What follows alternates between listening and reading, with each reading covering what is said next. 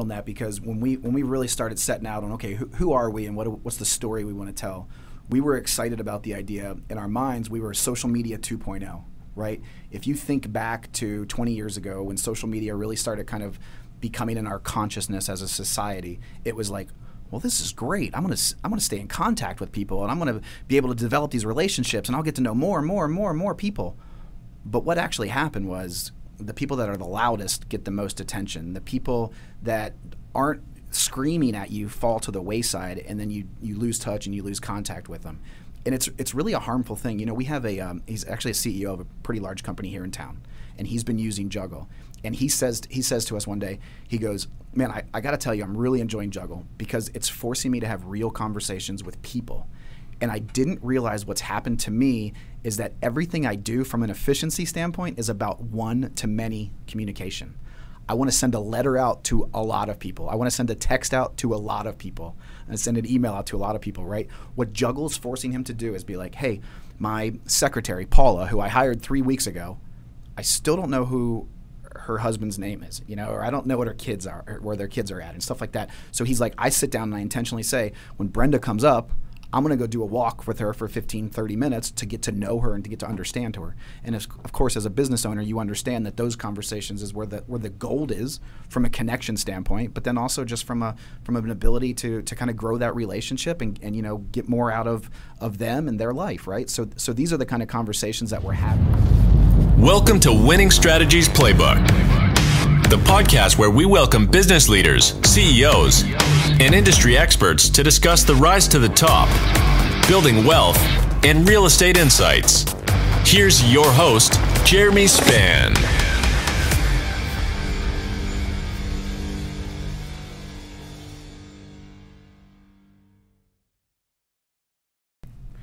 Welcome to Winning Strategies Playbook. For more information on this podcast and other podcasts, go to our website, myexperiencedrealtor.com. That's experience with an ED. And uh, you can click on the podcast button, download this episode, other episodes on all the different platforms, or even listen to it from the actual website itself.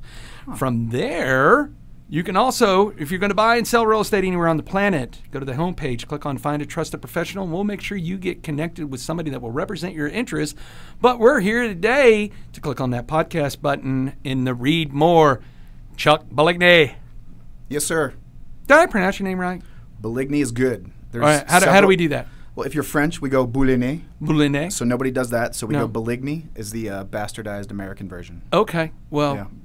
I excellent. You did good. You did good. you did better than 60% of telemarketers. So thank you for that. Congratulations. so for the audience, Chuck and I have known each other for quite a few years. I've pretty much helped him pay his mortgage payment with my ability to lose to him in poker, which I'm sure we'll talk about. But my father in law says I have to start every one of these off with a joke. Now, he wants me, after this many episodes, to stop doing jokes. So now I do these to intentionally annoy him. Which I was just excited to learn that my father in law was actually listening to these. So, you ready for this? And I thought this one was fitting for our poker. Bring it. Did you hear about the blonde who brought a bag of french fries to the poker game? No, I did not hear about this. Oh, somebody told her bring her own chips. That's ah, well done. Horrible, horrible. Nice to see you, Mr. Spann. Oh yes, yes. I mean, it's too bad my jokes are as bad as my poker playing. Uh, you know, yeah. So poker, we've known each other for ooh, quite six, seven quite, years, I'd say. Yeah, yeah, for sure. Yeah, and then uh, seeing each other every month down at the Fort Worth Club, seeing each other up. I mean, actually, I remember one night you and I went to the library because you usually make it pretty far in these poker tournaments. and this particular one, you didn't. And we went. Do you remember the night I'm talking about? Yes. And we went down to the library, and I don't mean like the public library. I was say yes. Specify yes. for the audience. Yeah, it's not the library. Thank goodness that there's a thing called Uber, because it was definitely Uber taking me home yes. that night. Yes. And uh, and we were talking. As a matter of fact, one of the things you were talking about was opening a, a, a bar.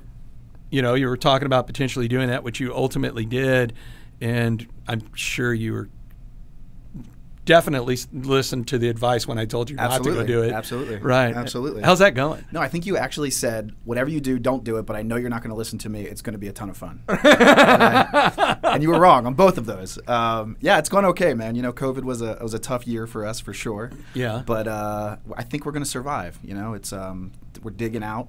There's some construction in the area, and once that clears up, and now that people are coming back out, um, I really think we're going to be okay. And it's over off Magnolia. And what's the name of it? It's called Grandma's.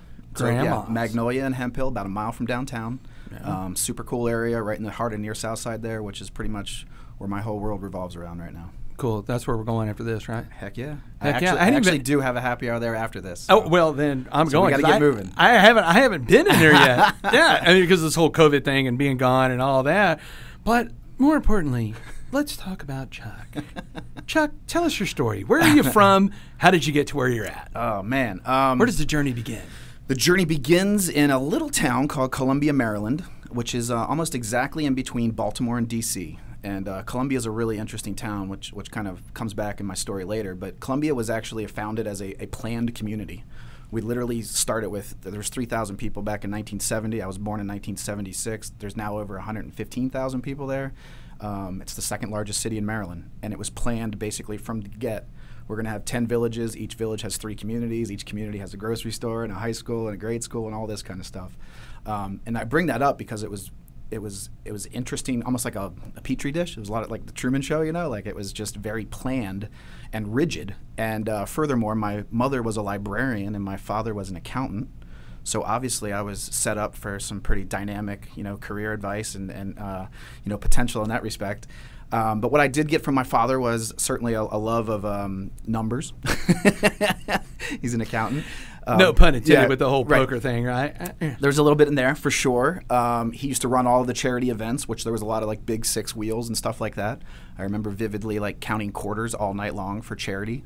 Um, so that was that was definitely part of my story. Um, and then of course my mother, I just learned a lot for love of community. Uh, she was actually part of um, the uh, archdiocese in Baltimore. So um, I went to private school from first grade all the way through high school um, because she worked for the archdiocese. We didn't have a ton of money, but but uh, that was one of the benefits for sure. And I'm 99% sure that's why she did it was to get us a good education. Um, but I bring all that up because it was a very, like I said, just regimented. And I feel like I've always kind of had this creativity bursting to get out. Um, combine that with the reality that you know my dad probably taught me a lot of my entrepreneurial spirit but it wasn't through um, do what I do. It was do it as do as I say. Um, he always kind of instilled in me that hey, if you're going to do anything in this world, you got to do your own business. You got to get after it. You got to figure things out. You got to do all that. Meanwhile, he kind of had a nine to five job working for the county government, and he just he freaking hated it. And every day I watched him come home and pass out on the lazy boy and wake up and do it again the next day, an hour there, an hour back you know and it was just it's one of those things that's very vivid you know obviously i was i was thinking about this you know uh, driving over here and uh, so that was kind of where i got that spirit. And then i moved to boston. Um, so i went from 95% roman catholic uh, environment to boston. So it was 98% roman catholic. So i thought i was getting out of it but i was just right back in the middle of this somewhat you know conservative uh, town and nature and all this. But i went to a business school up there. The one thing i'd learned from grade school was i, loved marketing. I loved branding. Um, i was always our treasurer too because mainly because i like to count the money but then i would always be like well how do we make how do we make a bigger yard sale? How do we make a bigger bake sale? How do we do more of this more of that? You know it's both for nonprofits and then for our classes and stuff like that. So i went to school up in boston at a school called bentley college later later became bentley university. Um, great business school um, se- second highest uh, marketing program in the country for business school when i went there. That's why i went there. Again i didn't know a lot about it other than i just like branding and marketing and consumer behavior and why people do certain things, packaging, um, all of those kind of things, advertising.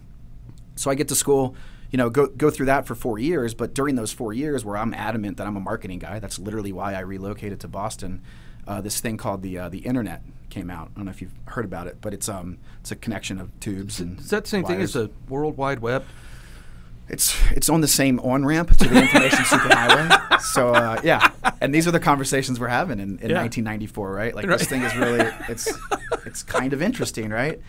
And I remember distinctively going down to University of Maryland where all my friends were, and they had the graphical World Wide Web, whereas what we had was the text-based World Wide Web. So you're just going on, you know, just seeing text, but it was still fascinating, right?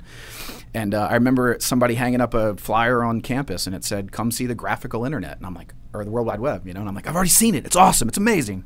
And I go down there in the, you know, the dungeon of one of these uh, dorm rooms and or dorm, uh, you know, dormitories, and there's 30 IT people and me, and I'm the only marketing guy. Everybody else is just an IT hardcore IT guy, and uh, I was fascinated by it. And I didn't really understand its application to marketing at the time, but it certainly felt like, man, this is, this could be huge. Like this is really really interesting. So uh, so over those four years, I was super adamant that I'm a marketing guy.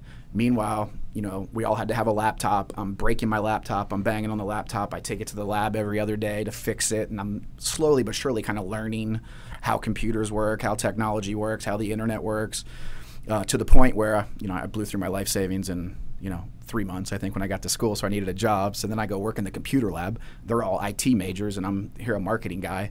Start running the lab, start kind of running the lab as a business. I start really getting into it, right? So fast forward to when I graduate, I'm a marketing guy. I go out and do what every other marketing major did, which is get a job in advertising or public relations. I got a job in public relations. I'm looking around the table and everybody there is miserable and everybody there is, you know, been there 15, 20 years and I'm an assistant account executive that needs to be there for 3 years before I can be an account executive, before I can be an account manager, before I can be an account supervisor. Meanwhile, I got buddies that were in IT that are like Windows NT administrators making, you know, 150 grand a year or something. And I was like, This is what year? this is 98, 99? Wow, that's a lot of money back in '98. hundred percent, yeah. Especially Yeah. for getting out of school, and I, I think I literally made twenty eight grand, you know, as a as a PR guy. Um, you know, after going to, to, to private college like that, it's it's not a good not a good long term plan to get out of debt. So uh, so I called up a recruiter friend that graduated with me, and I said, man, I think I want to get into IT if you can find something.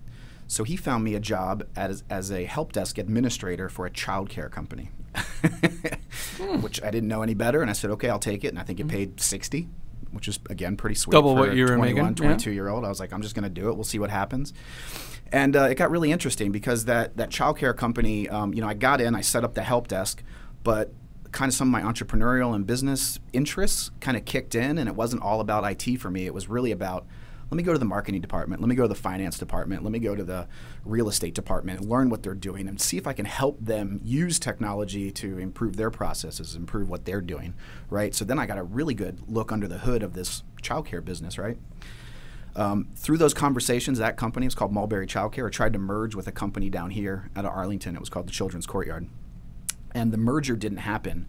Um, but they kind of fell in love with our CFO, a guy by the name of Ed Fallon, and they Who's who's they? The um, oh, the people down here, yeah, Okay. Children's Courtyard folks, which is a company that started in Arlington in 1986. It had grown to about 20 child care centers at this point. Okay.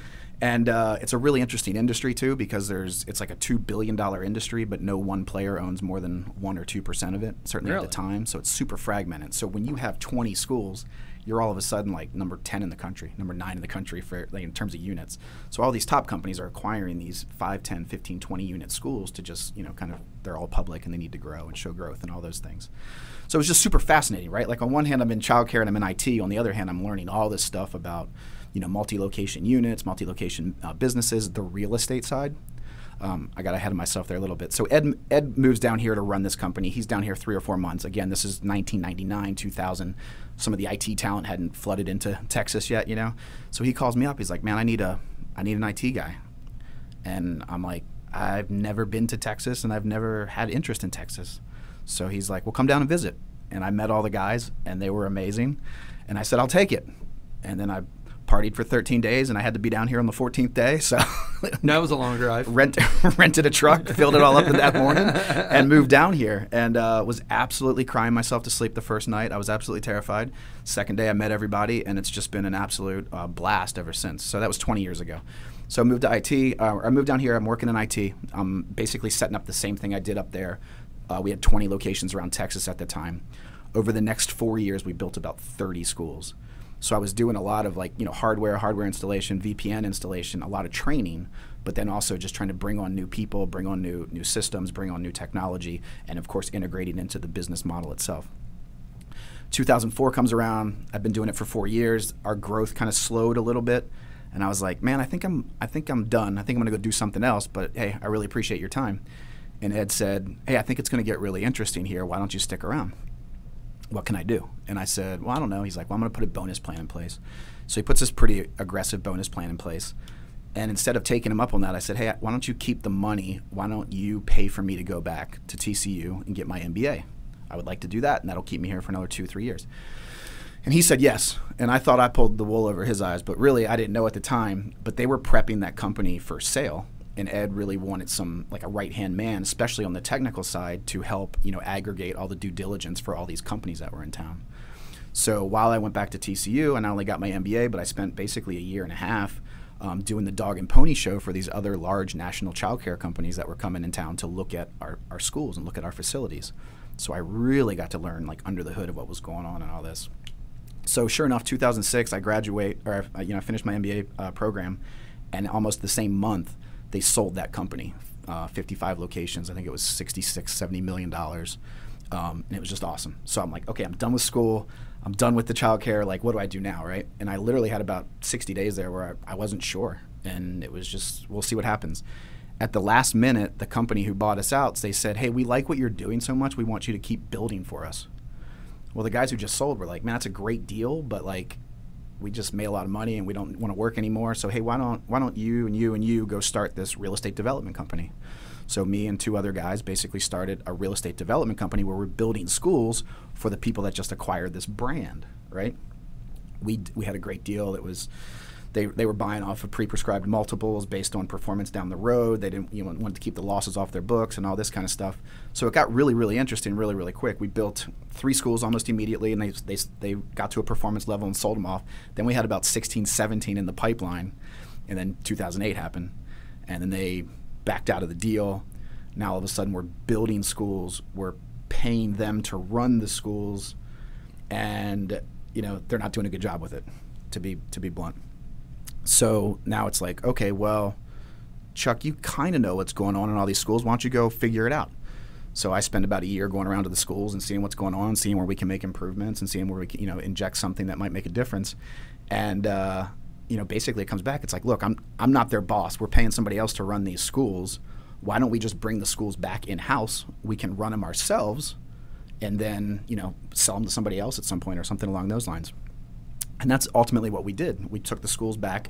And then, of course, now we have two companies out there running with the same name. So I was like, we need to rebrand. So I, I promise you, I'm getting somewhere with all this. so, so we, I told you you're going to do talking in ninety percent so, of the time. So yeah. we, uh, so we, so we rebrand the schools, and we go through this process. And I work with a couple of larger agencies in town, and I was really disappointed with kind of how they tackled our business needs. And through that process, I met a, a mutual uh, friend, uh, Chris Botvidson, who had a you know a marketing agency called Ascend. So we worked on rebranding those schools for a year, and then when I got done with that, um, actually through that process, what was going on, my, my mother uh, was diagnosed with brain cancer, uh, diagnosed and had a stroke in March, diagnosed in April, passed away in October. And basically every other weekend, I'm flying back and forth to Baltimore, and it's just like it's just what a, it's just this? a beating. 2010. Yeah. So it's just it was just an absolute beating. I'm like, what am I doing with my life? You know, like this is not this is not a good good situation. Um, so those two things kind of happened almost at the same time. So finally, when I we get done with that branding process, I became pretty good friends with Chris. Chris is like, you should come back and do what you love. It's branding, it's marketing. Like, let's go build this agency together. And that was pretty attractive, especially with what I just gone through with my mother. So I was like, all right, I'm going to do that. So I left all the childcare stuff behind, basically. Started working with Chris, and we started the next five years, you know, building Ascend Concepts, which was a full-service branding agency, right? A lot of creative and graphic design. So we're doing that for a while, you know, and you'll see a theme in my life. I just kind of, I kind of get antsy, and I'm, I'm, bouncing around to these things I have interest in. And uh, one of the guys from the old company called me up, and he said, "Hey, I, I've been passively investing in hotels around Texas, and I know you know a lot of people in your South Side and Fort Worth and what's going on there. Do you think you could find us a site?" And I was like, "Yeah, sure. Sounds fun, right?" So what I didn't know at the time was with with Ascend Concepts, what I was learning was I, I, guess you could call it sales, really like business development, right? But for me, it's something I was never able to do before, which was just go out and build relationships, to find people like you, to find people like you know other business owners, people that need help with marketing and branding services. I was having a blast doing that, and I was just basically building a Rolodex, knowing that not everybody needs a website tomorrow, not everybody needs social media management tomorrow, but at some point they do, and I want to be the person they think of, and I want them to come to Ascend Concepts, right? So I'm just doing all this networking and business development. So when this guy calls me up and says, "Hey, we want to do, you know, we want to build a hotel in the area. Can you find a spot?" I'm like, "Well, this is cool because now I can go talk to all these realtors and title people and property owners and all these people I know that I don't have any work for, right?" So, uh, so long story there. We we find a site, we close on it. Just I literally just did it for fun to help out a friend. And when we closed on it, they said, "Hey, man, we really appreciate you helping us out with this. We're gonna we're gonna cut you in on this. You own a piece of this." I was like, "Cool, that's awesome, man. I really appreciate Doesn't it. Like, suck. yeah, it doesn't it does not suck." So, uh, so then the next question was, uh, I said, "Oh, cool. Like, how, how do you build a hotel?" And they said, "Oh, w- we don't know. Do you know?" And I was like, "No, I don't." And I was like, "But I'd love to figure it out. And if you guys are up for it, like, I'll go. I'll go spend a ton of time on that." And they're like, "Yeah, let's do that." So um, I sold out of Ascend Concepts to Chris and started down this road of real estate development. So I've already been in real estate development. I've done the commercial side with these childcare centers. I think I've been involved in something like 80 or 90 of these buildings between Mulberry and and the Courtyard and the the third brand, which was called Explore. Um, but not, nothing to this scale, nothing in hospitality, none of these kind of conversations, right? So, uh, so that was you know a couple years ago, and I left Ascend and I started doing um, the hotel process, and that's a whole nother story. But basically, um, you know, we decided to wait on the hotel for for about a year or two for a number of reasons.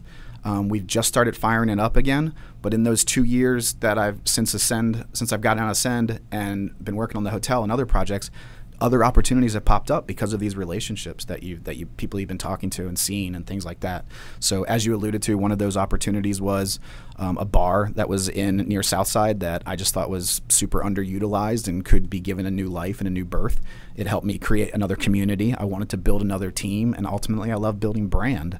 Uh, so we rebranded to Grandma's, and that was um, we did that at the end of October of 19, and then our grand opening was the day that COVID came in and said you have to close down all the bars right now. So that's been another interesting part of this year. Um, working with another friend on a digital marketing company. Um, obviously, we're still doing the real estate development. We bought some other properties in near Southside. Um, what else? What made you choose the name Grandma's?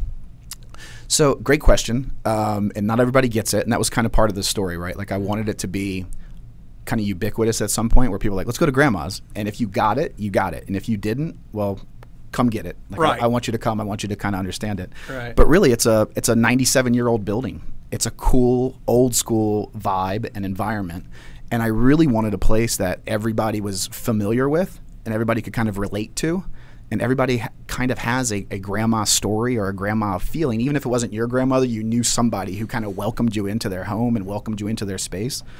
You know, near Southside's a great community. It's super diverse.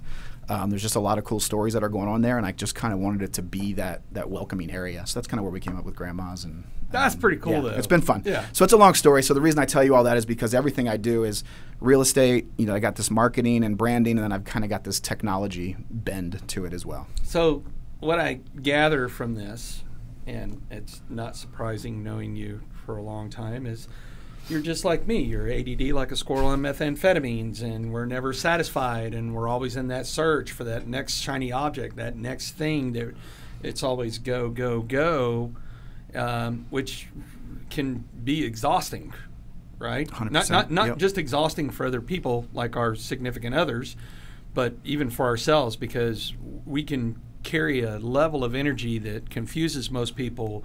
But when we go down, we go down like a darted rhino, don't we? man, like, Putting it lightly. Oh man, Yep. and uh, and so so let's let's segue just just for a second because now this really makes sense. Is that constant search of adventure? What when did poker become a part of that? Um, you know, my like I said, my growing up with my, my dad always kind of running a lot of these 50-50 kind of deals, the big six wheel and, and things like that. Um, that was really the only time I spent with my dad on a lot of levels was was literally counting money for charity for nonprofits, and it was the lessons of what gambling is, right? And back in 2003, 2004, when I was kind of searching for something else to do on the side, especially after I moved down here and I didn't know a ton of people, the online poker world was taking off, and there was just a lot of opportunity to just log in, learn a little bit about the game, which is a lot more than most of the people playing, and you could make some pretty decent money at it. So that's really where it came from. It's Speak- it's since kind of evolved into this obsession where you're like, it's a really fun game, Speaking and it's just like life too, right? I'm sorry I cut you off oh, yeah. there, but it's like life. Yeah. It's you can do everything right and still get screwed. Oh, and yeah. you can do everything wrong and make out like a bandit. Oh man, and you know it's kind of funny. So for the audiences, Chuck and I have been playing in a monthly game together for a number of years, and um, and in, in a tournament style, and uh, and I've enjoyed it because not just because you're right. Sometimes you're doing everything right. You have the hand, and sure enough, the river comes out, and you're like, you got to be shitting me, right? Sid with his two threes ends up having a pair of fours, and you're like, "What? Come on!" Or four of a kind. You're like, "You're like, come on!" Uh, but it was the camaraderie down there. Everybody talking shit to each other, and it just it and it was just it was just that I I couldn't wait for the second Thursday of the month, knowing that I was going to go down there and dude, we were just going to have fun. And then the pandemic hit, right? And then so that's when we all went to online.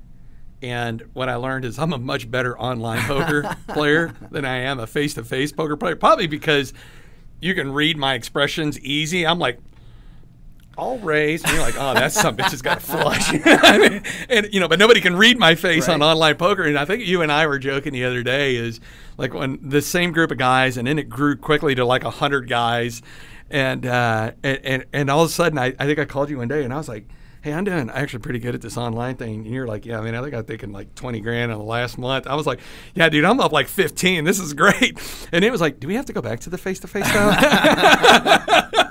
All right, we got to redact some of that. Yeah, hey, no, you know, never mind. But I lost it all again, IRS. abs- so I'm at a absolutely, wash. I'm at, absolutely, yeah, lost it all. I'm at a wash, IRS. Uh, but, but yeah, I mean, it was just, but there was something about poker, right? Which is fun because there is a level of strategy involved, but at the same time, it is. There's a reason they call it gambling, right? You sure. just things that, which, which you're right, comes kind of comes into place with business.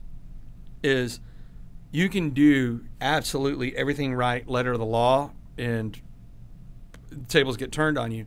And then sometimes you're, just trying to figure it out, fly by the seat of your pants, and you're like, did I just really crush that? Like, oh my gosh, like how did that, how the hell did that happen? And, uh, or is like in my case, many a times is not paying attention and just going, yeah, and then realizing, oh man, I really got a good hand. And I didn't even realize I had a good hand. Uh, you know, so that is the funny thing about, you know, the, the life of poker and, and gambling and, and whatnot, and how some people really take it all too serious. 100%. Yep. I Yep. mean, like, look, if you're not willing to lose money, then just don't show up. Well, it teaches you to make decisions with imperfect information, right? I mean, that's all. That's all business is. That That's all we've done, right? So, like, if you look at um, the pandemic, right? I bought a bar that was treading water with with little to no marketing effort, thinking, okay, that's our baseline is break even. Everything else we can do is going to be up from here. And then day one, something none of us have ever seen, something our parents have never seen, something most of our grandparents have never seen, ironically called grandmas, is a nat, you know, in, in national or an international pandemic where all of a sudden things are shut down and people don't know what's next, and we don't know if it's going to be a week, a month, a year, two years, ten years. Um, so you got to read and react, and you got to play with that. And it was a really tough year, specifically with the bar. Um, but I think you know, in a in a perverse way, poker helps with that because you understand that this is one hand in the game of life, and Yeah. we're gonna figure it out. And I, I think that's important for people to understand that want to be entrepreneurs. It's like at the end of the day, there is no sure thing, right? You there are things that you can control, but there are so many elements that you cannot control. And the what I have found that has helped me in business is quickly identify the things you actually have control over, and quickly become okay with the things that you don't Right. have control over. Right? You don't have control over people's spending behaviors, buying behaviors, what the government's going to decide to do, whether it be on a local, regional, state, national, international level, whichever. It, there's so many complexities in there, but you also have to be able to see the forest through the trees, right? Because I think a lot of people just they shut down, they quit, and there's no quit in guys like you and I, right? Like, like habitual degenerate gamblers, like we will blow the whole thing just to be able to say, no, I'm going to get there. And, and, and, and for guys like us, is sometimes that journey's worked out really well, and sometimes it hasn't. But we climb back on that horse and go riding again, right? Yep. Yeah. Well, going back to my childhood, right? Like, what's the alternative? Right. Is the alternative just to, to get that nine to five and, and grind it in a, in a way in a lifestyle that you don't necessarily enjoy? I mean, some people do. I get that, but that's not it's not what I've wanted. It's not how I'm built. It's not what you've wanted. It's not what you've built. Yeah, and I and you know, I mean, I I, I, I grew up in a very structured world, going in the Marines at 17. Right, paid on the first and the 15th. Easy rules. Just don't get dead. Kill the bad guys. You'll be okay. You'll get paid on the first and the 15th, and you get out. Going to the PD for the number of years, paid you know every other week, and then after also going to TCU to get an MBA, making that jump, going to the business world two years later, did not work out well at all. Lost everything, holding the bag for four million, sitting there, August of 2016. And yes, one of the options was go back and get a safety of a check, get paid every other week, have benefits, go back to the PD, start all over, go rise through the ranks again. But, and it's not that I didn't like the PD, and it, not that I didn't like the people that I worked with, but that was not who I was. That I'd rather be waterboarded in Guantanamo Bay than to go back to that because I knew there was more out there, and I was not going to quit. I was not ready to quit, and it was like, hey, I could take my ball and go home. Boo hoo, what was me? Or hey, you know, let's let's strap up and get, get, this get this pony going. Right. And now five years later, been very fortunate how things have worked out. But I don't think that I would have had the successes I've had without the failures I experienced. Right. Hundred percent. Yep. Yeah. Yep. Teachable moments. Yeah, and you know that's I, I kind of rambled there on my whole story, but I, I really I do enjoy telling it, especially you know people I'm helping out or I'm mentoring or, or younger people. It's because it's so nonlinear. Like you just don't know what one thing is going to lead to the next and that starts with just taking a chance, imperfect information, moving forward, and seeing what comes from that. Um, that's that's really kind of been the story of, of why I'm here today. Yeah, and then you go through all this, and you decide to go ahead and start yet another company, right? I mean, hey, why start one when you can start ten? Yeah, right. Yeah, absolutely. Yeah. Well, so, where, where are you going to invest your time, right? So. Uh, Yeah. So yeah, ironically, somebody else that we play we play poker with, um, who's obviously become a really good friend over the last year, year and a half. Um, he saw my name on an email list of another project I was working on, completely unrelated, and he's like, "Why is Chuck copied on this message?" He's like, "That's the guy who runs the poker league."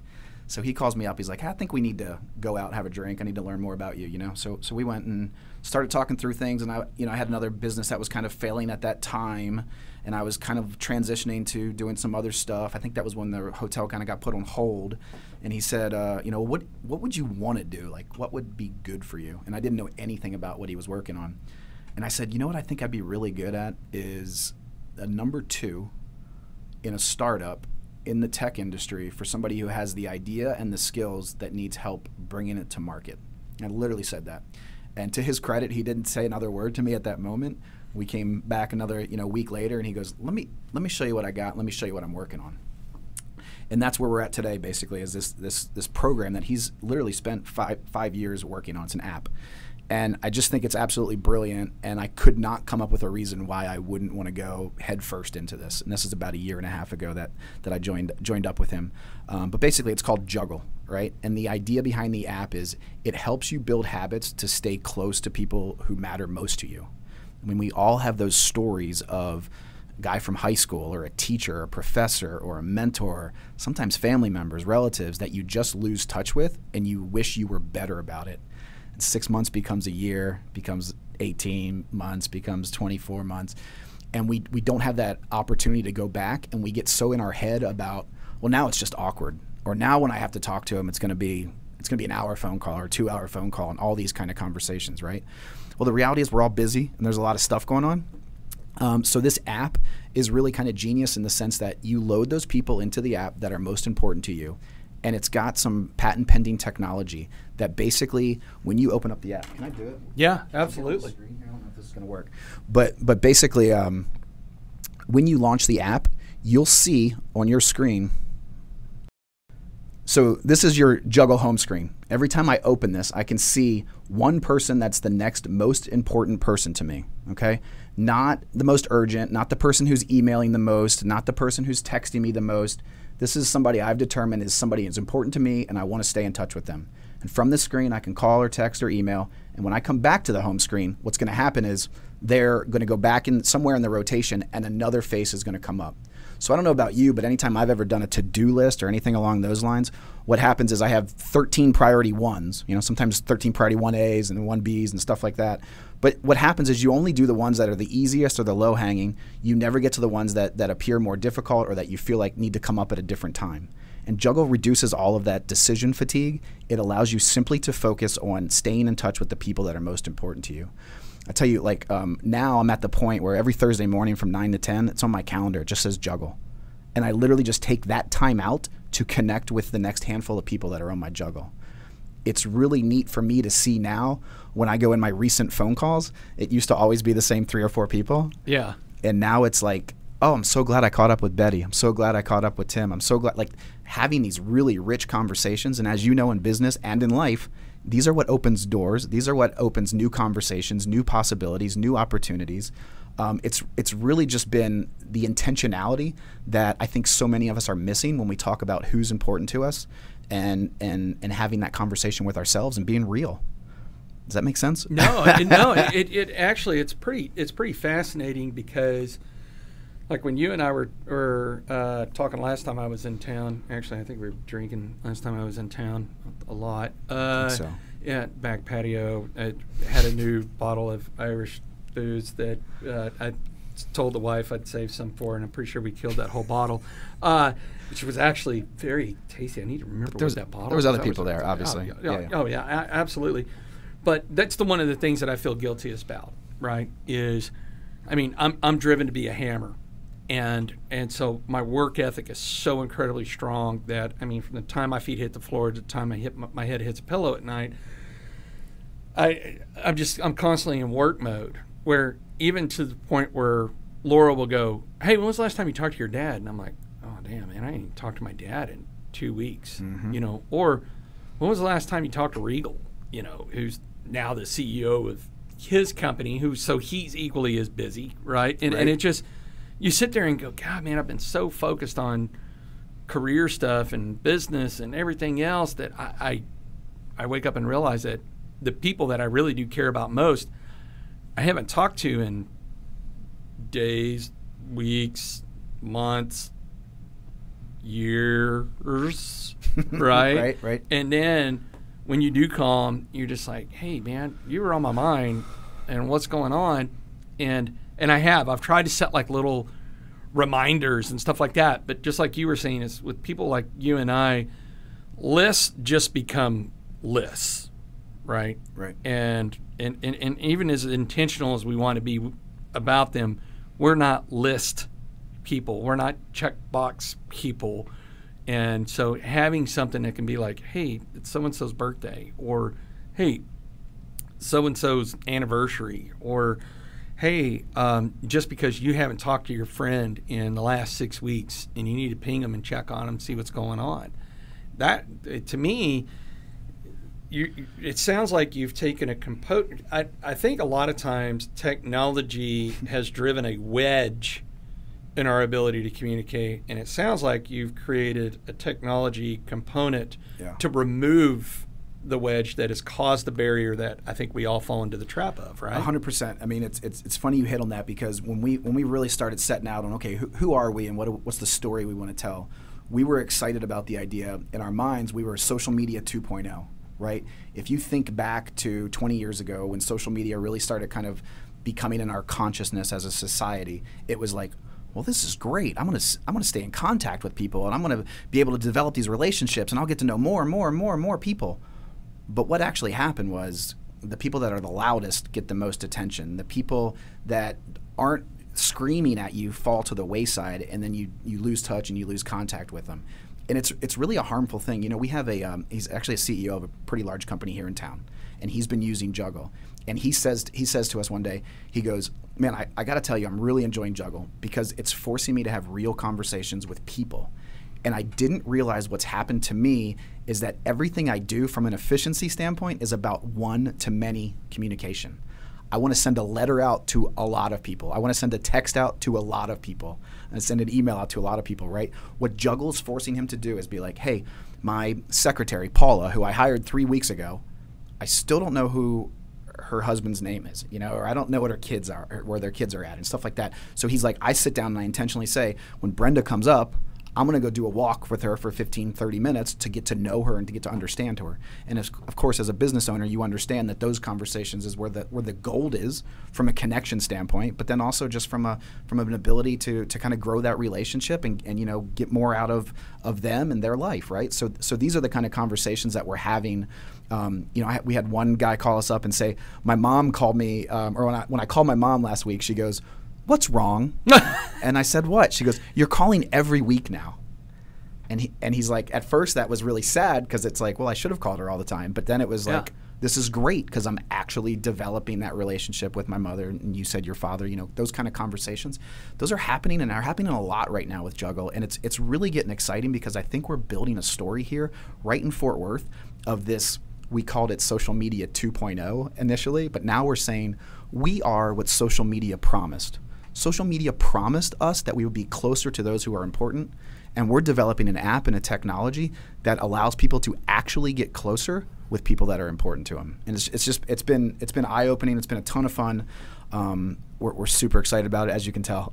yeah. No, I, I, Yeah. It, there's. It's hard to have any conversation with you that you're not excited about something, but but no, there, there this this really kind of it really strikes a um, a note with me though because by design, I don't intentionally not try to think about people. Again, I'm a hammer, right? Like if you look at my, you, a lot of people hear me re- refer to culture index all the time, right? Yep. And I mean, my A trait and my C trait are as far apart as possible, which means my sense of urgency to go do things and go win and go be who I am is just a it's a, it's a blessing and a curse.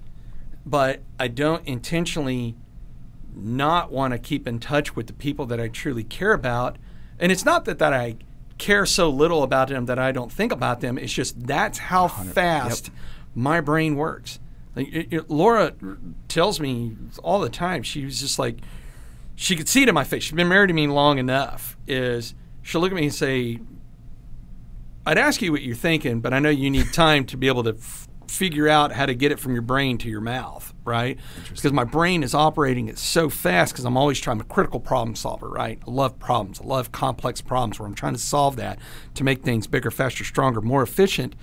So it's just that, not that I intentionally didn't think about the people I care about. I'm just so hyper focused on things that I'm doing, where even Laura, my own wife, who not only am I married to, live with, but business partners with, still has to pull me aside and go, "Hey, pay attention to me.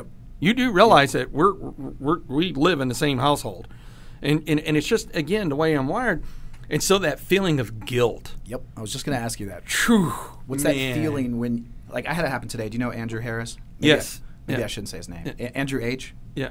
Um, he he downloaded Juggle today because he got an email from somebody else about it, um, and then saw I was on it. So there's a quick ad feature when you see people on a leaderboard and say, "Oh, this person's using Juggle. I'll, I'll juggle them as well." That ba- that's basically that person telling you you're important to them. Yeah. So maybe they're important to you, maybe they're not, but those are good conversations to have. Anyway, Andrew downloaded it and added me and texted me. He goes, "Hey, I just texted you from Juggle," and I was like. uh, Obviously, I enjoyed it, right? Because it's a juggle conversation. But Andrew is one of those people that I absolutely adore, and it's embarrassing as heck that it's been two years since we talked, a year and a half since we talked. It frustrated me to no end, but it also made me so happy to see his name come up, to have a conversation for the next 20 minutes. And like I told you before, now I go to my recents and it's like, oh, Andrew Harris is there, Andrew Harris is there, Andrew Harris is there. And as you know, at some point that'll fade off the screen. And if I'm not intentional about it, it may fade for another year or two or more and that's what juggle's preventing. It's it's just a really cool conversation. And I'm telling you honestly, like you know, we're bipolar. We're the same profile Yeah. too. Oh, yeah, way, yeah, yeah, yeah, yeah, yeah. Like, No, we are- we you are- Get, you get high highs and you get low lows. And I Oh, was in, yeah. I was in a low low, and Andrew texted me, and that's what picked me up out of that moment. I swear, those are the kind of opportunities that juggle is creating for people to reach out and reconnect. Yeah, and I, and I can give you a recent example of this. Is so I was driving back from my house on, in Colorado on Sunday, and uh, And I was like, God, I, I got to call Lindsay, my sister-in-law, because this is this is how bad this is with me just being driven to go do what I do. My sister-in-law got a real estate license, and she's back in January, and she had pinged me in this was February or March, saying, "Hey, you know, I'm trying to get into the industry." And she knows I'm in the top one percent producers. She was like, "I would just need, would love some tips, everything else, what to do." And I was like, "Yeah, absolutely. You're my sister-in-law. I want to see you succeed. I want to." You know, her, her her son, my nephew, who just graduated from TCU, had been interning for me for the last year. So absolutely, two months go by. And so I'm driving back from Colorado, and I was like, I, I haven't called Lindsay. And it wasn't like, oh, hey, I missed her call last week. I'm talking about months. And so I was just like, ah. Yep. And it's that whole, now I've got to pick up the phone, and I'm going to try not to be a dick, right? Not that I'm sounding like one, but I haven't called for two, three months and and it went to voicemail and I was like, oh man, yeah. And then, but she calls me right back and I was like, hey, what's going on? And so we start talking about you know what's going on with her and everything else, and uh, and I was like, man, I I I, I got to get I've got to get better at this because. Man, come on, man! I'm I'm I'm climbing on a half century old now, right? I've, been, I've been on, and and the one thing that I, I, am starting to gain greater appreciation for is even though I am in the prime of just hitting grand slams and doing great in business, you know, as my daughter told me on my birthday, which I was told her I was going to cut her out of the will on this one, she goes, "Hey, do you realize you're now closer to death than birth?" like, like, thanks, right? But it starts happening with age, right? You start sure. going, "Hey, wait a minute. There's a lot of important people in my life that when you do call them and then their initial response is, "Is everything okay?" God, it's just this overwhelming feeling of guilt. Of like, no, it is, and man, I, I, I should be better at being in contact. Like even when I called my dad, and, and I was like, man, I you know, so I'm on the road, so I'm calling everybody, right? I got 12 hours on the road. I'm gonna call everybody and their sister. And my dad tells me, yeah, um, man, I, you know, I, I'm so glad you called, and we did. We're laughing, we're joking, and everything else. And I was like, yeah, Dad, i am sorry I haven't called you in a couple weeks. And that's what I find. I'm, I'm, always apologizing. Dad, I'm sorry I haven't called you in a couple weeks. And he goes, look, son, I know you're really busy. And he goes, and that's the reason I don't call you is because I know you're probably not going to answer because you're probably in the middle of a meeting or you're in the middle of a deal, and I don't want to disrupt that because I know you're at the high point of success in your life, and I just don't want to interrupt that. So now I've created such an environment in my life that not only am I not calling them, but they've stopped calling me because – they're afraid to interrupt right. my busyness. Right. And it's just like this is not this is not what I want to be and who I want to be and where I want to be. And so, you know, as you and I have talked more through the, the, the Juggle app, is the more it just weighs on my mind more and more of like, hey, I've just got to be intentional and just get in here and start loading things in here because if I even if it's just once a week I open it up, right? And it's just like, oh wow, I need to call Chuck or yep. oh yeah, I need to call dad or hey, as it turns out, it's my nephew's birthday or yep. whichever, yep. right? Yep. Yeah, I, I would encourage you to use it once a week because you'll see that it has to be an everyday thing at some point because it's it's I don't want to say it's addicting, but yeah. it really does kind of feed this like I'm I'm becoming a better person. I like where I'm going. I like the legacy I'm starting to build. Um, you know, one of the most powerful things that can happen in juggle is you delete somebody somebody comes up to the top of the screen that at some point I said they were important. I wanted to talk to them and make sure it was at least every three or four months. I call them that time. Next time it pops up, I say, "No, we're good." Like I, you know, some, something or someone has happened, and I don't think I need to be intentional with that person anymore, and that's okay. Mm-hmm. Give yourself permission to say, "I've only got so many hours in the day." You know, you know this because you have that tier system where you kind of are judging yeah. people or grading people at least into how important they are to you. Not yeah. everybody can be top priority one hour a day. We would never get anything done. Yeah. So for example, you know, a vendor that you used to work with that you really liked and something happened or whatever, that's cool. Delete them, move on. Conversely, I had a conversation. I went out with somebody who I was juggling that was, you know, set to, you know, very distant, four, five, six months. And we're talking over lunch and she basically broke down and cried and told me she had she had cancer and that she was going to go through chemo for 10 weeks.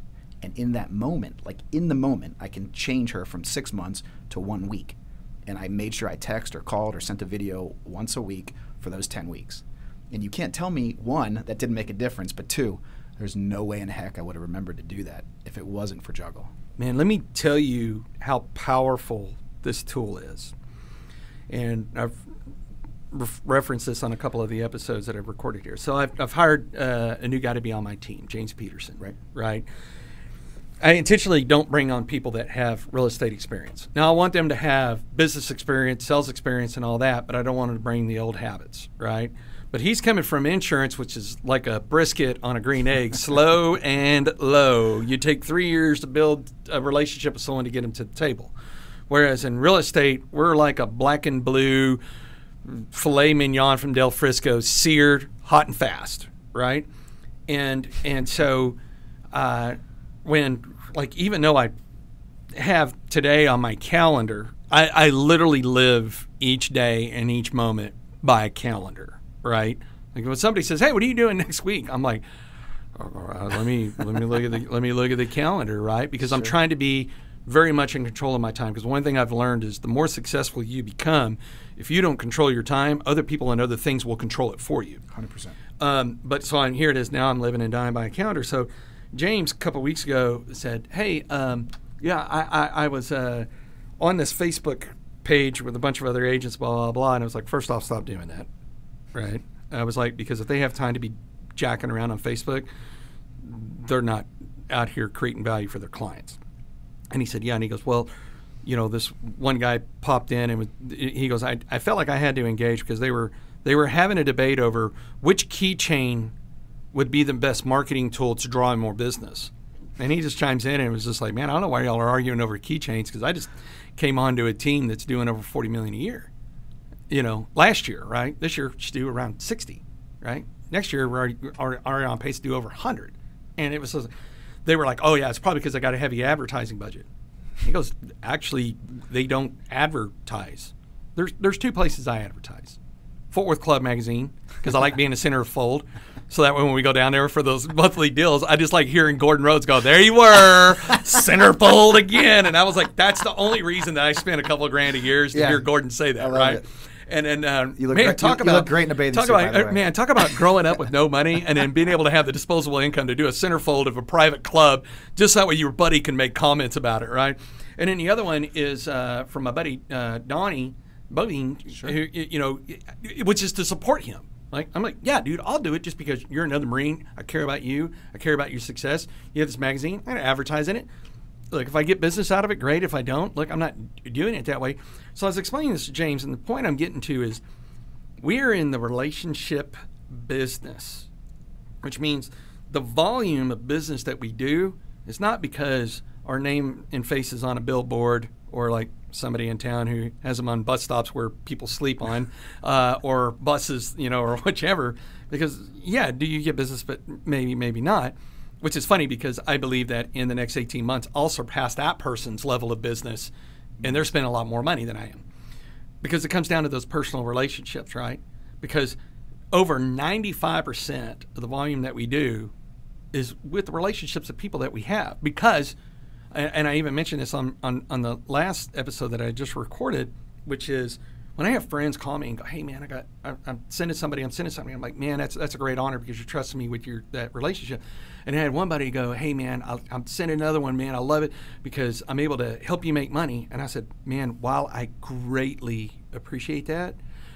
I'd rather it be that you're sending them to me because I, I have the most trusted team in this industry, right? Right. That is the brand, that is the reputation that I fight and claw and make sure that is protected. And so as I was telling James this, is I said, there's so many people that are already in your sphere. I said, you're going to be successful in this business because you, you know, because the first thing I would, you know, I spent the last two years being very intentional of who I was going to hire. And one of the first questions I ask is, how many people are in your phone? right? And if somebody was like, I don't know, 100, I'm like, eh, well, not going to work. You know, because if you don't know how to establish relationships, I'm not saying that having 100 people is a bad thing. Those are probably 100 important people to you. Right, right. But if you're going to go work in an extroverted environment that involves sales, you probably need to have more than 100 people in there. Or it's going to be, not saying you're not going to be successful, I'm just saying there's going to be a long hill climb Sure. up to that. So I say, man, you've already got the network of people that are going to become your clients because they love you, they care about you, and they want to support you. But more importantly, you have their trust already, and you're augmenting that with the trust of the Spann group that just spent years, you know, establishing this brand. So I said, you've got to be making phone calls. But he cuts in that insurance industry. Like even today, he was just like, yeah, man. I was like, how many phone calls you make yesterday? He goes, 15, five of them are cold calls. I was like, why are you making cold calls? Stop making cold calls. Why are you calling people that have no relation to you, no trust or anything else? You've got plenty of people in your phone. Call them, right? Right. And and I just think that an app like this that takes these folks, that as you're speaking with them, because we, we want to go help people. Yes, certainly our time is not free. We want to be compensated for what we do, but we want to help other people. So it's like, hey, if you call your friend Bob who pops up and it turns out Bob's having a kid, turns out it's his fifth kid, and he lives in a three bedroom, two bath house, you probably need to move Bob up to the weekly to be like, hey, Bubba, you're gonna you're gonna need a bigger house. Right. You know, or if Right. it's like, hey, Laura and Jeremy Spann, you're empty nesters, you know, does that 4,000 square foot house still need to be what you need? It's time to downsize. So this can be not not only that, but a powerful business tool that allows you to stay, because that's ultimately what happens is people make a decision based on what's going on in their life to buy and sell a house that they either live in or want to go live in, right? Or a pandemic where it was just like, yeah, I mean, I was totally cool with renting the rest of my life, but now I've learned that I want to go have a house because I don't want to be stuck in an 850 square foot apartment with 400 other people in my apartment complex during a global pandemic where we couldn't go anywhere for 90 days, right? And so, as you and I were talking last time I was in town, I was like, man, this is for someone, for any of the audience that's listening right now, if you're in the business of networking, right, because your network is your net worth, then you need to download this app. You need to get intentional about it. You need to start practicing and utilizing it because the relationships, when you care about other people and you demonstrate you care about them and you actually have a business that services a need that they have, then you're most likely to be the person that they call and it allows you to stay relevant and top of mind, right? 100%. Because in today's social media, like what you're talking about, is social media has become very one directional of uh, people yelling their opinions to be one directional and if you dislike or make a comment then they unfriend you or whatever else. Now chris powers has taken that to a whole different level with his ability to communicate with the free world on twitter to make it a conversation and i learned a lot from him doing that but so i got into the twitter thing and it, but man it became time consuming that i just don't have right? Time is a commodity. We can't buy more of it we can't get a refund on it once spent. And, and, and so you have to figure out how what am I going to do to manage and control my time?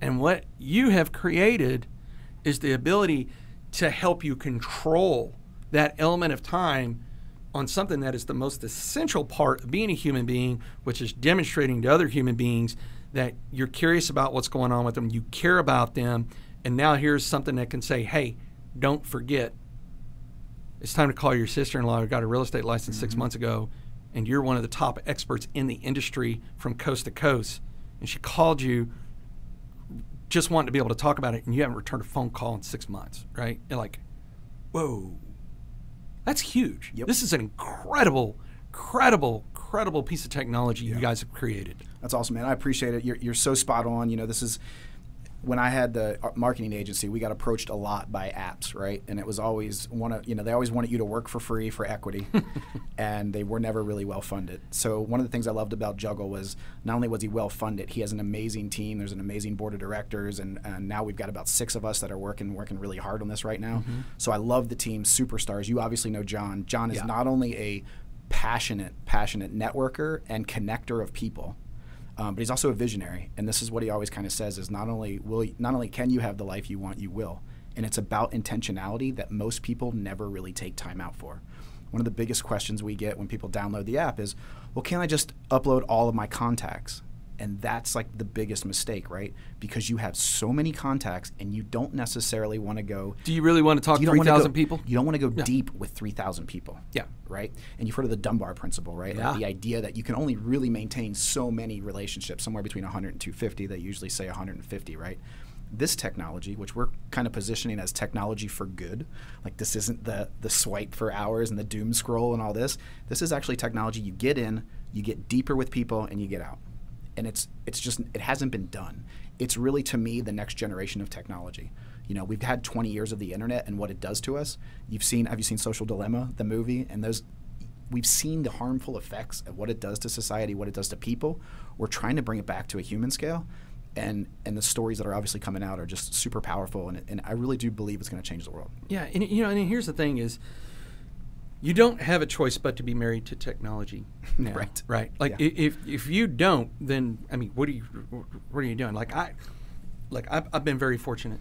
The pandemic allowed me to take my business model to where I wanted to take it prior to the pandemic, but it's an antiquated industry where both consumers and vendors and participants in it just didn't quite want to let go of the old antiquated ways. And then, boom, global pandemic. It was like, boom, I can execute on how to go do this new level, right? Which was to bring in the experts to be able to service the clients in, in ways that were above and beyond the, the, the level of service they were getting. Even though I felt like they were getting the best service with us before, they're getting even better service. And I wanted to be able to operate remotely, right? And but what good is it having you know the most toys when the music stops playing, when you look around and there's no one there to enjoy that with? Right. And, and, and a prime example of that, a very good friend of mine, Chris Swartz. I've been incredibly close friends for many years. Got carte blanche, got his own week up at my house in the mountains every year. Just, just great, great guy. And years ago, um, he had told me, you know, I, um, his, his mom had passed away, and, and as soon as I had heard that, and this is when I was still in the PD and I was still doing undercover human trafficking work, is I was I had just flown back in, and I called him, and I was just like, hey, man, I, I'm sorry about your mom.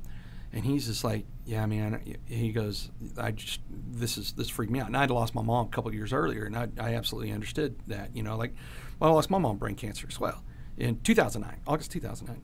And so I was like, man, I'm on my way over. And he's like, man, look, I'm really tired. And I was like, dude, the day you decided to become friends with me, it was more of a rhetorical request. I'm on my way, whether you like it or not. And uh, and by the way, I am the police, so you can call the police all you want, but I'm coming through that door. And so anyhow, we get out there, we open up a bottle of scotch, and we're sitting out there smoking some cigars and, and and enjoying some scotch. And um, and I just said, hey man, I, I I'm sorry what you're going through with your mom. I should have been around a lot more, you know, because I've known she's been sick for a while, and you were there for me when my mom was sick. And he looked at me and he said, you know, Spann, he goes, one of the things I learned to accept about you a long time ago is you're no less better of a friend because you're not around. I just had to learn to accept that my friendship with you is cyclical. It's not that I'm not your friend all the time. It's just you're going to come and go based on what's going on in your life. And he goes, and the faster I, I came to accept that, the easier I had it to, to be able to have this relationship with you because he is one of my closest friends. And I was like, that is the most fucked up thing I've ever been told. And he was fully right Yep. but I was just like, is, have I really created this environment where my friends got to go, nah, hey, man, look, he'll be your best friend, but just understand it's going to be cyclical. And even though, since that was a number of years ago, things haven't changed. He'll pop up in my mind, and, I'll, and I will, and I'll be like, hey, what are you doing? And he'll ask me, like, everything all right? And I'll be like, nah, man, I just wanted to call and harass you. and he'll be like, hey, remind you, you still got your week up in Colorado. Right, right. And, and, and, but so that's why the impact of what this app can do for even degenerates like myself who are so heavily focused on being out there to win to go it's time to slow down for at least a few minutes out of my week to open up an app and go who's top of mind today and then you know like you said it you know being addicting because then the next person pops up the next person pops up next person pops up. And then you realize wow there's a lot of people that you know it really does touch their lives right? And um, or like one, one of my business practices i don't do it as much now um, namely because my role is always evolving and changing within our group right?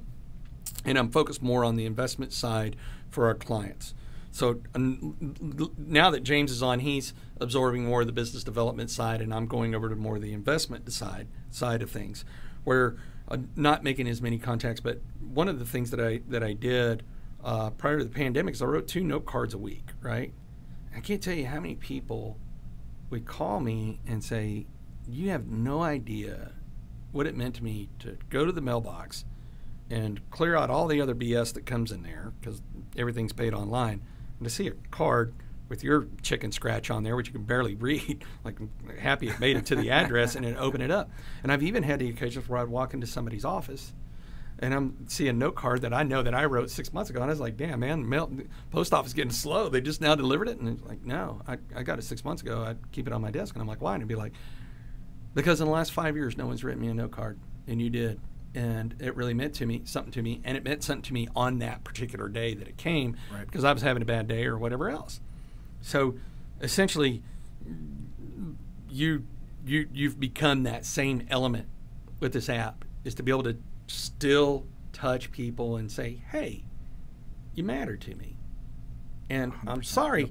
that I'm not always present. I'm sorry I'm not always there. I'm sorry I missed your kid's all-star football game or whichever, but I still want you to know that matters. You matter, you know, that we matter together and this this app does that. Right. Yeah, you know, another question we get a lot. Sometimes they'll, they'll be like, "Well, I don't need to put my my wife in here or my best friend or whatever." Um, you do though, because that takes on a different meaning at that moment, right? It's Yeah. not about, "Oh, I I woke up next to my girlfriend today, so I can mark her off the list." When when when Jen, who you know, you know my girlfriend, Mhm. when she comes up on my list, it's not about I made a contact with her. It's that I did something special. And that could be, you know, flowers or a note, or it could be a date, or it Yeah. could just be a random message in the middle of the day, which may have that same effect where it really brightens her day, or it says, hey, he's thinking about me, like, you know, we're, we're, we're still good, and I, I know he's busy, but he's thinking about me. Like, those are the kind of moments that are super, super special and intentional. So when you load somebody in the juggle, it may be a, a really unique and rare opportunity to call, but it also may be that opportunity to take that next step, to do a handwritten letter, to do, you know, to visit somebody Yeah. heaven forbid, right? There's a oh. gamification piece to this where an in person's worth more than a call is worth more Wow. than that. It, it Yeah. kind of motivates you to say like, okay, I want to I want to go deeper with this person. This person's important to me. Yeah, and you know, and this is the funny thing, and it's, it's, it is. I'm hoping people that are listening to this aren't thinking that I'm just some kind of you know born again asshole or anything, right? But I mean, like this is just how driven and my my my brain is. Is even on my mirror in my bathroom where I go to brush my teeth every night, I've got a big sign that says "Did you?" You know, you know, did you do everything you did, you're supposed to do today? Did you leave it all on the table? Did you tell your wife you love her? I mean, it's like literally, I have to have a, a written reminder on the very thing I look at to brush my teeth to be able to go, oh, yeah, I need to tell my wife I love her. And it's not because I don't, and it's not because I don't want to tell her. It's just that's how my mind is by design. So to have a tech, matter of fact, when are you going to do this where it puts a chip in my head, so it automatically It's does. I don't even have to. They don't even have to look at the phone to do this. Yeah, yeah. No, it's definitely coming. Yeah. Proximity sensors, those are all things that are on the drawing board. Um, you know, one, one thing John and I got into a, a pretty good argument early on about this was because I wanted separate screens for you know friends versus business, and John was really adamant that people are people, and if you're if you're maintaining a relationship with them, it shouldn't matter what what they are. You know, whether they're a work relationship or a personal relationship or a family or whatever. These are the people that are important to you. Period. Yeah. Right. Now that said, we do have potential here to use this exact same technology for business as an overlay onto a CRM, for example. So salespeople just like to sell; they don't like to mess with a CRM. Mm-hmm. Well, Juggle has the capability to integrate with that CRM. So as they just make phone calls and texts and emails and all that, it populates the CRM, which is what people at the back office actually care about and want to see, right? So there's that potential. And then one of the reasons we very purposely called the company Juggle Apps is because the same technology is applicable to other industries, other to-do lists or anything where people can chime in and, and see that other people are working on something. So, for example, um, like you happen to own a bar and restaurant too, right? So, if we had a Juggle Apps or Juggle Juggle Pizza, right? Because you have a pizza a pizza place, right? So, at the pizza shop, there's certain things that need to happen. You need to clean the windows once a day. You need to clean the oven once a week. You need to change the air filters once every three months. All of those things are loaded to Juggle. Now, your employees, all they do is open up Juggle, and there's going to be one ball that's next and that might be clean the windows because it's once a day, or it might be clean the air filters because it's been three months since that appeared at the top. But that dynamic display that we kind of have working for Juggle and what, what makes it so special is applicable to all these other industries, all these other opportunities, all of these other business applications. That's obviously another side of this thing that we're super excited about. So if I understand this right, is this is to help you control the chaos. Exactly. It's about intentionality. Like Yeah. what it just think of all these things you forget and if you can load them into some place it will appear again. I have a- powerful. I have I have a I have a question for you. okay. All right. And I want you to answer this honestly for me. On Friday at 1:49 you sent me a text. I need more Spann in my life. Was that because I popped up in Juggle? 110%. That's awesome though. And it made me go, I bet you Juggle told me that. And I'm not offended by it at all. I'm like I'm like that's awesome because I uh, look, there's I love humans. I really do. I mean, I wouldn't have spent a lifetime in service if I didn't really care about people. You know, doesn't mean I like them. I can care about you and not like you, right? I mean, I've I've I've protected a lot of people that I cared about, but really didn't like them, right? Yeah. of course, people would say the same thing about me. My wife's like, "Yeah, I mean, either dude, people people either love you or they wouldn't piss on you if you're on fire, man. I mean, you're one of the, one of the two." Uh, but um, but it, there are a handful of people that when I get this out of the blue message from, you know, because I, I I mean, look, we we've been sitting in here recording for an hour. I have 83 missed messages on my text. I have 11 missed calls because I cleared everything out before we Yeah. started this, and I have 57 missed emails. Right, that is what my day is, which is really funny because people go, "Oh man, you you make all this look so easy." I was like, "Dude, I'm telling you, if you were to download the the usage on my phone, you would throw up in your mouth. You'd be like, how do you manage getting 100 texts which yes some of these may be a couple of messages in a thread but i can promise you if i pull it up there's at least 50 different segments yep. of who's doing what and and and, and so it, it, it becomes a bit of a beating after a while right because you're like okay that one's part of this deal or i need to do that or i need to return this phone call or blah blah blah blah blah so it's just I really despise looking at my phone a lot of times because it's just going to be I'm responding to the next Yep. threat, the next the next problem or whatever else. But when I do get to open it up and I see a text from my friend, you know, because it does a preview, Chuck, that says need more Spann in my life, and I see that, dude, just that instantaneous moment, I'm like, man, it's made my day, right? Yeah. Because most people that text me and call me and email me, they're doing it because they want something from me, want me, want a piece of me, want some, you know, there's something that somebody else wants. Yep. That when it's different, it's just like, man, well, I guess you, know, you did need more. You, know, you want a piece of band. Yeah. but, but it was just, you, you see that and you're just like, hey, that, that really makes a lot of difference, right? It's like the story I told you about Andrew Harris, literally Yeah. today, right? Yeah. And, and and that's a really important point I want to touch on because it's you almost feel like you're gamifying your life a little bit. But the reason you came up and you came up two weeks after we met last time yeah. Was because when I left that meeting, I felt so energized by our conversation. I was like, that is a good dude. That is somebody I need more of in my life. Now I got to figure out how to provide value to you and, and be a part of that conversation. But in that moment, it, literally in the car, in your driveway, I bring you up, say, yes, we met, we met in person. And instead of being every four months, I want it to be every two weeks. Yeah. And now you come up in two weeks, and then I have that conversation again. Do I need it? Do I need it to be more? Do I need it to be less, or whatever? Yeah. Intentionality. You're you're in Colorado now, th- nine months of the year, right? I'm not going to see you around as much as I did. If the Colorado government's listening to that, it's less than less than fifty Oh percent yeah, yeah, of the no, year. Absolutely, yeah, yeah, absolutely. Yeah, it was absolutely. nine weeks, nine Yeah, weeks, yeah, nine yeah. weeks. Fi- five months and three weeks every year, you're up there. But but that's what it, that's what it allows us to do is have that intentionality. And I'm saying, you know what, Jeremy's a good dude. I need him Yeah. in my life more, and that and that's literally why I did that text. That's why I'm here today. That's why Yeah. you didn't just skip over it. You said, okay, how do I how do I connect with Chuck more? Well, shit, I should bring him on the podcast. Yeah. And now we're here. Well, and you know, and it, and it was really interesting because your timing is. So I've had this significantly large deal that I've, I've been working on for about three years, but the last six weeks it has grabbed a set of legs, and I mean, and I, not exaggerate when I'm talking 16 hours a day, seven days a week. It's the probably the primary reason why I have all these missed calls and everything else because you know, when someone's getting ready to spend millions beyond millions of dollars on something, they just don't go, "Hey, man, uh, we just want to give you this money to go do this, and just let us know how it goes." Right? I mean, they're like literally, they got a hand all the way up my ass like a puppet, right? I mean, it, I mean, they're they are they want to know anything and everything and all these bits, and which naturally, yes, I mean, because if I was going to spend that kind of money, I would want to know as well. So, but, but I was when you sent me this message last week, uh, which uh, last week was like like six days ago, five days ago, whichever. Is I was like, oh yeah, I'm supposed to record next week, And I was like, and you know, of course, I have a production team that does everything for me. It's really easy. I get to show up, talk with folks, they do everything.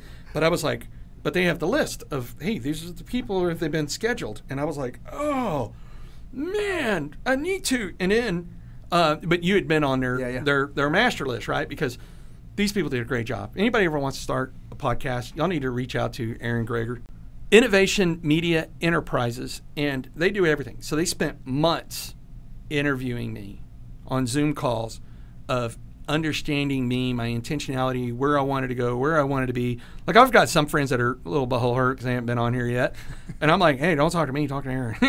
like go go to the master list, right? Nice, nice. And um, but you had been on that list, and and then she was like, hey, have you reached out to these people to tell them that you need them to come be a guest?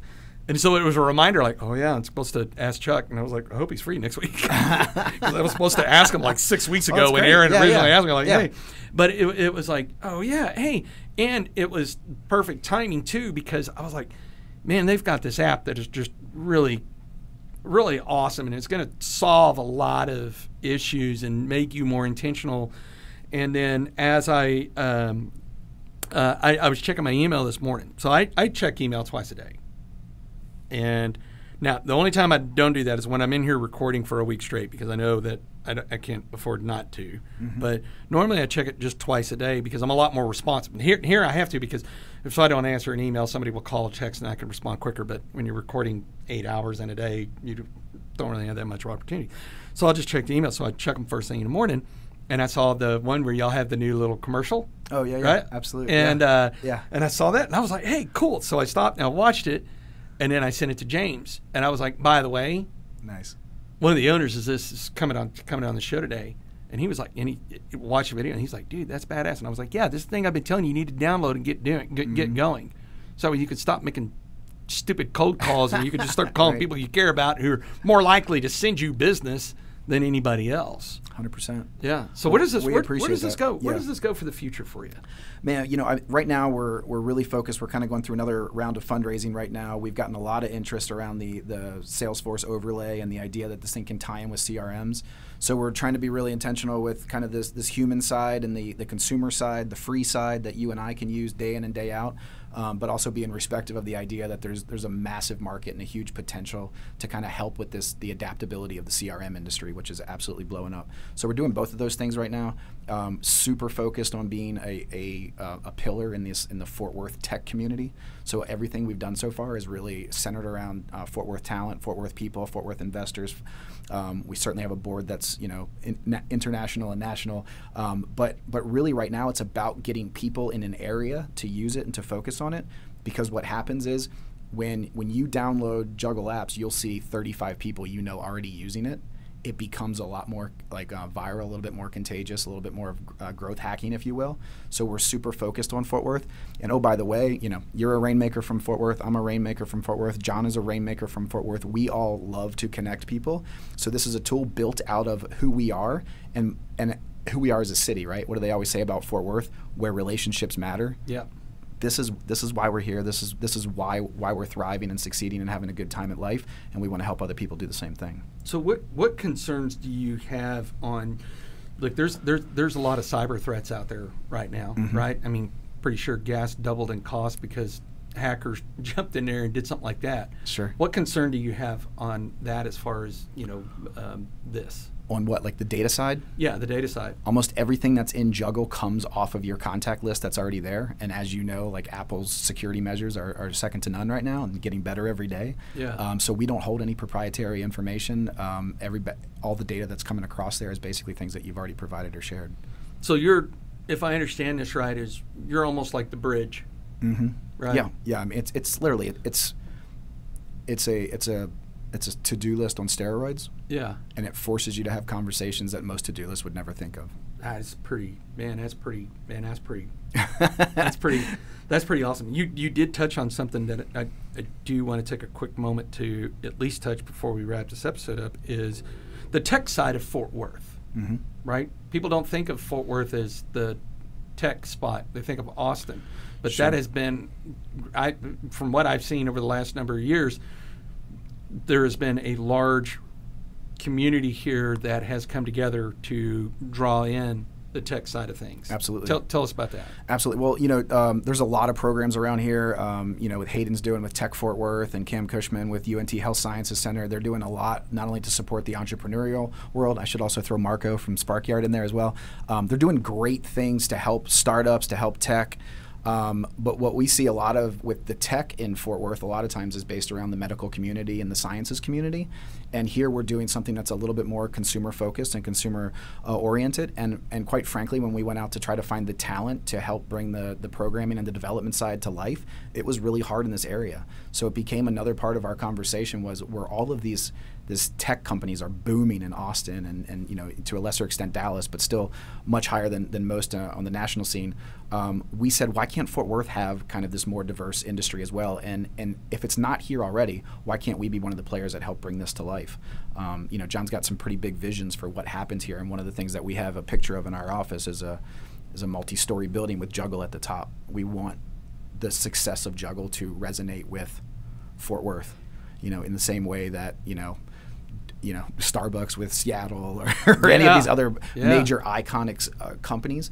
Um, you know, we want to be that for Fort Worth, and we're working hard at that. Man, that's awesome.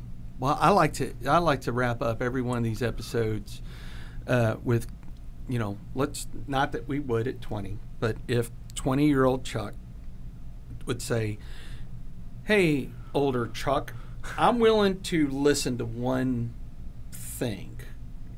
Whether to go do it or not go do this, what would you go back and tell 20 year old Chuck if you could turn back the hands of time to just say, hey, this one thing? If you're not going to listen to anything else, listen to this one thing. What would you tell 20 year old Chuck?